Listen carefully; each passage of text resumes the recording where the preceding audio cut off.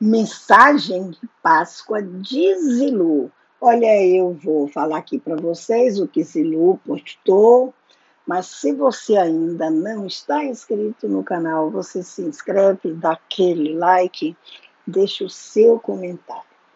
Ela publicou que a Páscoa nos lembre da importância do perdão, da compaixão e do amor ao próximo que neste domingo de Páscoa, que foi ontem, não seja mais um dia de compartilhar momentos bons, mas que seja um dia de receber amor de familiares e amigos com muitos chocolates e abraços. Uma ótima Páscoa para todos. Deixa aí o comentário de vocês.